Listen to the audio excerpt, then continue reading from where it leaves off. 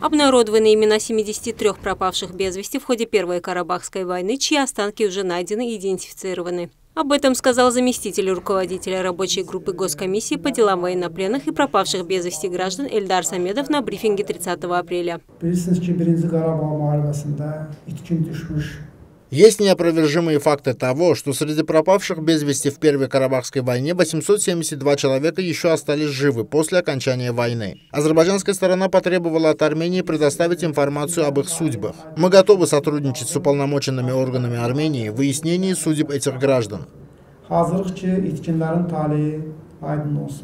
Эльдар Самедов подчеркнул, что одним из основных факторов, препятствующих поиску пропавших без вести, в настоящее время является загрязнение территории минами. Выступивший на брифинге начальник отдела криминалистики Генпрокуратуры Орхан Рзаев отметил, что на освобожденных от оккупации территориях по сей день найдены 18 массовых захоронений, в которых обнаружены останки не менее 172 человек. Рзаев отметил, что уже идентифицированы личности 55 человек, захороненных в этих могилах.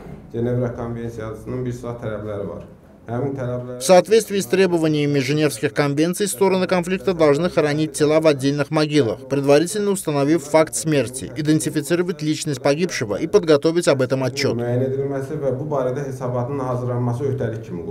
Эльдар Самедов подчеркнул, что процесс поисков будет продолжаться до тех пор, пока не прояснится судьба последнего пропавшего без вести.